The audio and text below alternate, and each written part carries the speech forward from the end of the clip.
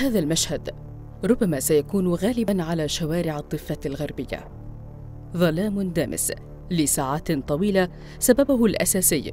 لصوص الكهرباء والمتخلفون عن دفع المستحقات مقابل هذه الخدمة الأساسية.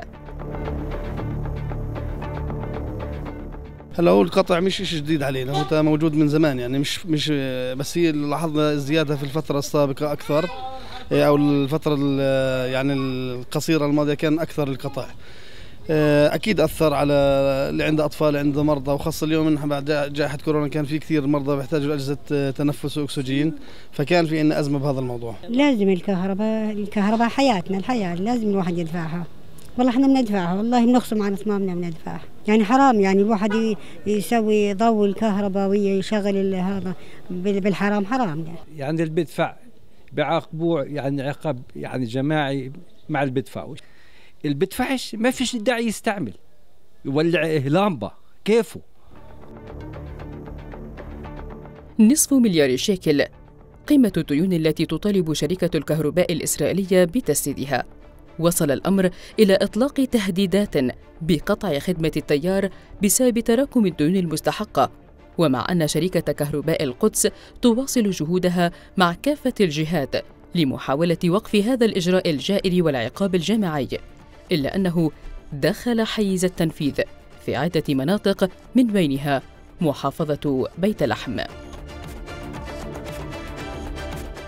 أول شيء بالنسبة لسرقات الكهرباء هذا موضوع أخلاقي نحن نقوم ب حملات توعوية لأهمية عدم التعدي على شبكات الكهرباء وخاصة أن هذا الموضوع يؤثر على الخدمة الكهربائية بشكل عام بالإضافة إلى يؤثر على السلامة العامة وخاصة التمديدات الغير قانونية. وهذا طبعا عكسناه في التشريعات الفلسطينية حيث غلظنا عقوبات كل ما على كل من يثبت أنه يتعدى على شبكات الكهرباء ويقوم بسرقة التيار الكهربائي تصل إلى حد السجن ستة أشهر كحد اقصى.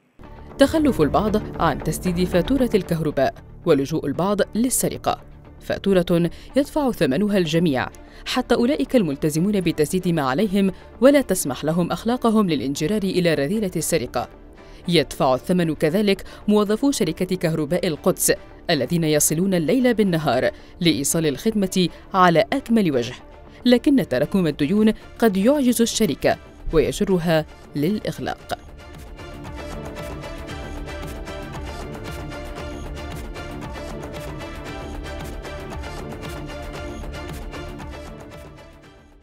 تخيلي كم هو هي خسارة شركات الكهرباء البلديات اللي آه هذا الأمر يؤثر عليها بشكل آه سلبي في النواحي الاقتصادية. النتائج أو التأثير على المنازل على المحال التجارية هي بشكل كبير جدا لأنه تخيل عندما يكون هناك سرقة من آه يعني أعمدة الكهرباء بصورة آه مباشرة هذا آه قد يؤدي آه نشوب حريق وبالتالي آه خسائر في الأرواح والممتلكات. بعض الأفراد والمستثمرين يحاولون الاحتماء بتجمعات سكنية يقومون بسرقة التيار الكهربائي في المناطق المصنفة جيم وغلاف القدس مستغلين الوضع الأمني وضعف الإجراءات القانونية. في بيت لحم وردنا ست قضايا تم إنجاز أربعة منها لكن في ضواحي القدس وردنا 51 قضية بما يتعلق بسرقة الكهرباء وتم إنجاز منها 16 قضية فقط.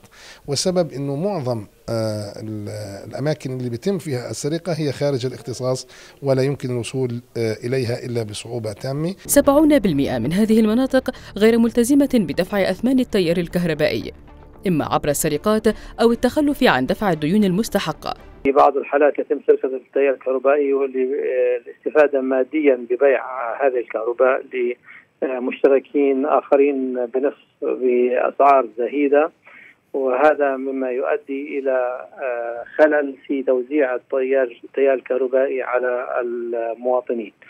هذا أيضا يؤدي إلى تراكم الديون على شركات التوزيع التي بدورها لن تستطيع تسديد فاتورة الكهرباء للمزود وهذا ما يحصل حاليا بالإجراءات العقابية والعقاب الجماعي الذي تقوم به شركة كهرباء إسرائيل بقطع التيار الكهربائي عن الكثير من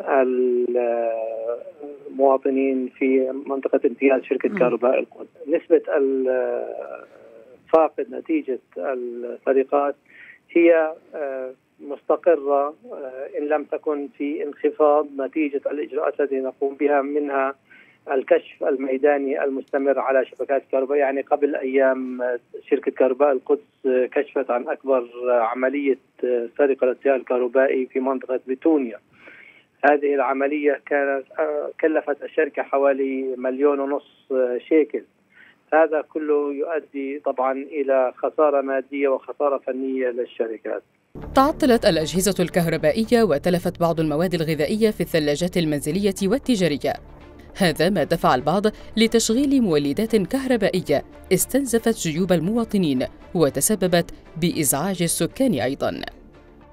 والله شركة الكهرباء أول إشي حرام ثاني إشي إيه، بضر صاحب الدار إذا سرق لأنه بصير ما فيش أمان. ولا في حماية للأطفال. لما بيتم وضع أي كوابل رئيسية أو فرعية في أي منطقة بتكون عبارة عن يعني بطريقة محسوبة إنها تتحمل آه، لود أو كهرباء معينة. لما بيتم السرقة بتأثر هذا الشيء على الكوابل بيأثر على الأحمال بتصير الأحمال تزيد. ممكن نعرض المنطقة لتقطع للكهرباء. أكيد سرقة الكهرباء راح تأثر على المواطنين بشكل عام لأنه راح يصير هذا السرقة بتسبب خلل عام في المنظومة العامة للكهرباء إنه بصير ناس تدفع ناس ما تدفع هون بصير ظلم. لكن أنت لما تأخذ آه، بشكل كهرباء آه، كهرباء آه، بشكل سرقة ما أنت بتاخذها من جارك بتاخذها من صاحبك. أكيد أنا ضد سرقة الكهرباء لأنه بتأثر سلبا على ناس ما لهم دخل خصوصي إنه بصير تفاوت في المبالغ ممكن يبقى المبالغ طائلة ممكن الناس هاي ما عندها قدرة إنها تدفع هاي المبالغ. هل تتخيل يوما أن تعيش في الظلام الدامس ويصحو أطفالك بقلق؟ أن تفقد الأجهزة الكهربائية في منزلك واحدا تلو الآخر بسبب التقطع المستمر للتيار الكهربائي.